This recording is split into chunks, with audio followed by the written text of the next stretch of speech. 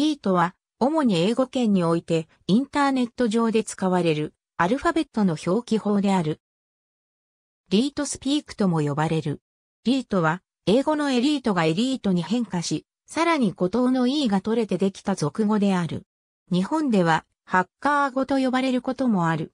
例えば、whereas という語をリートで表記すると、wres や w4r3z などとなるように、一部のアルファベットを型の似たアラビア数字や記号などに変化させる。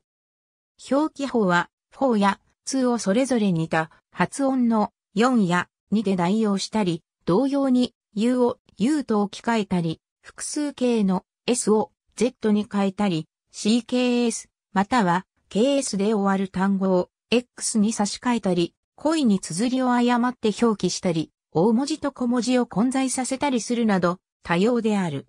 リートは遊び心で行われるほかに、警察や著作権関連機関、または初心者などの検索を回避する目的で使われることもある。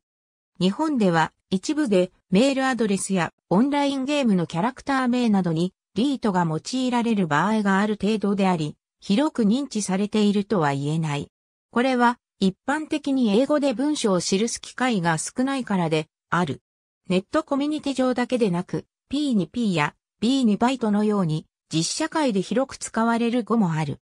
ただし、これらは音声的類似による表記であり、文字的類似による表記であるリートとは異なるとすることもある。